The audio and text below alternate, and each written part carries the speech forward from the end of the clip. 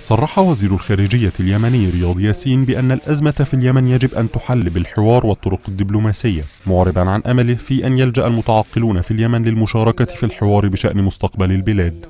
وقال ياسين في مؤتمر صحفي عقده الأربعاء مع نظيره الإماراتي الشيخ عبد الله بن زايد النهيان خلال زيارته للإمارات إن الحرب في اليمن ستنتهي حتما وإن الأزمة يجب أن تحل بالحوار الدبلوماسي.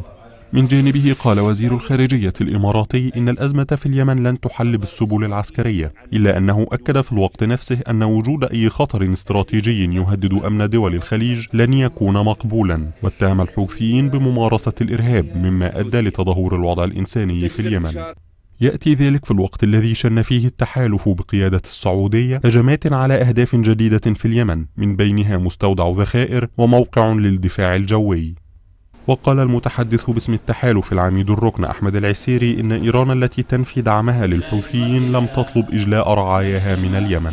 الآن لدى قوات التحالف أي طلب من جانب الحكومة الإيرانية لإجلاء رعاياها وهذا حق من حقوقهم إذا يرغبون البقاء في في اليمن. ولكن ما نؤكد عليه أن أغلب من يتواجد من الرعايا الإيرانيين في اليمن هم كانوا من من كانوا يدعمون الميليشيات ويدربونها ويجهزونها ويمدونها. ولذلك الآن هم في خندق واحد مع الميليشيات الحوثية ولهم نفس المصير.